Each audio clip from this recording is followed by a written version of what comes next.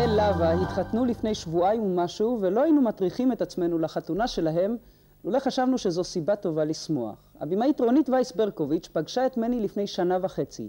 היא נסעה לאשקלון ותיעדה במשך חודשים את המאבק של שכונה שלמה שהחליטה לנקות את עצמה מסמים.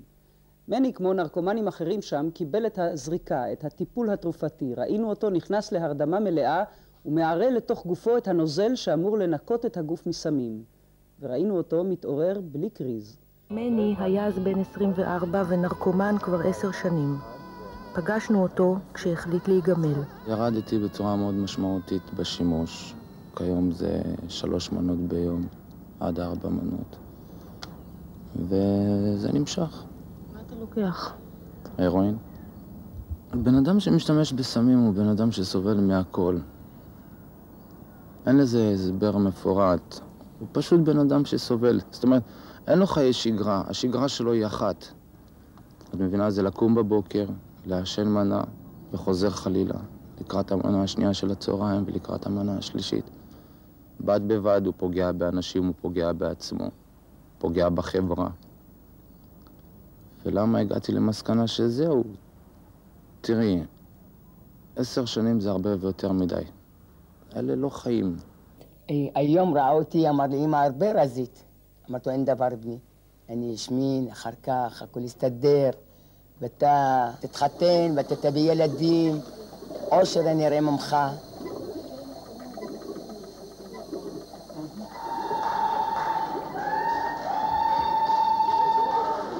מני נקי היום מסמים.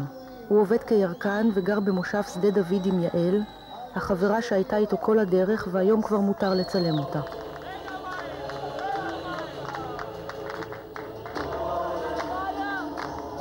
האמנתי, היה לי תקווה. כל הזמן? כל הזמן. את התקווה אני לא איבדתי אותה.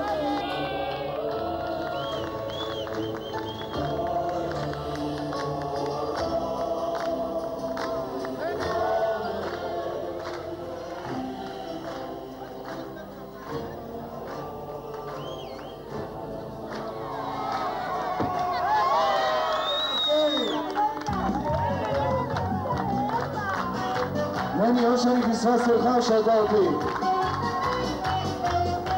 בשעה טובה, גבירותיי ורבותיי, יעל ומני, בעל ואישה. היום אני מכור. אני מכור לדברים אחרים. אני מכור לחיים. לחזור לחיים ולראות את האור. לחזור לחיים מחושך וכפור. לחזור לחיים אל האור שעבר. לשוב ולחיות בניגון הישר.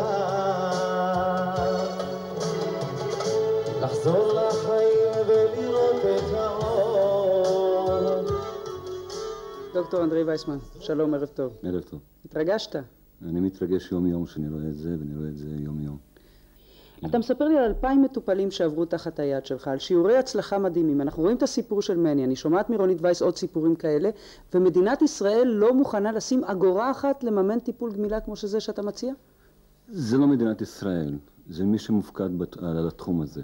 כנראה מי שמופקד על התחומים האלה, גם על הנושא של המימון, הם מושקעים, מעורבים ומחויבים על השיטות המיושנות יותר. מה אתה אומר לי, שהרשויות, הרשות למלחמה בסמים, המשרדים השונים, יש להם תקציבים, יש להם משרות, יש להם מרכזי גמילה, הם לא רוצים לסגור אותם? תראה, יש תסכול מדעי בתחום הזה שהוא הרבה מאוד שנים, ומשקיעים המון כספים, יש, יש המון כסף בתחום הזה. מכיוון שלא הצליחו עד היום אה, להגיע לאיזשהו טיפול שמצליח להביא בן אדם מאלף לבית. ואתה הצלחת? ש- כן. מה אתה אומר, אתה הצלחת במקום שכל האחרים נכשלו ואחרים לא רוצים לראות מה אתה לא עושה? לא רק אני הצלחתי, חל התפתחות אה, טכנולוגית ברפואה. המגמה הזו היא קיימת עשרות שנים. המגמה שאומרת מה? שהנרקומן הוא חולה וצריך לתת לו זריקה? שאומרת שיש תשובות, יש תשובות נאורופרמקולוגית, שכאן נמצאה הבעיה. מדברים על פסיכולוגיה, פסיכולוגיה זה לא איזשהו קונספט שמרחף באוויר, נמצא כאן. זה נאורספטורים, נאורוטרנסמיטורים, והיום הטכנולוגיה מאפשרת לנו להבין תהליכים שקרו כאן. אבל הטכנוקרטים, האנשים שמקבלים את ההחלטות, כנראה לא עברו את התהליך הזה עדיין. היום יש טיפול, הנושא נורא פשוט, אין כאן הרבה מה להתווכח.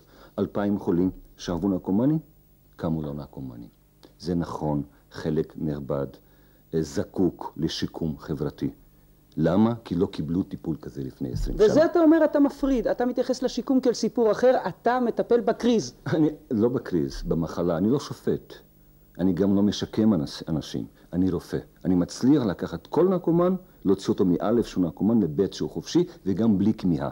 עכשיו, אנחנו בשיתוף המוסדות צריכים לעשות מאמץ לשקם האלה שזקוקים לשיקום.